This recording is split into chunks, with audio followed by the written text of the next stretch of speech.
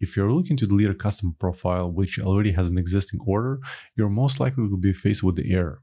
For example, uh, customer Nicholas has one order, and if I were to delete the customer profile like this and delete customer, there's going to be an error. Fail deleting one customer, and that's because there's a, an order which is linked to this customer profile.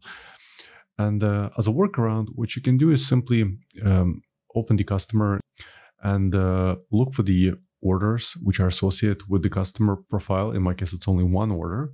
So let's open the order. And uh, on the right, look for the customer section, uh, click on three dots and select remove customer. This will unlink the, uh, the order from the customer profile.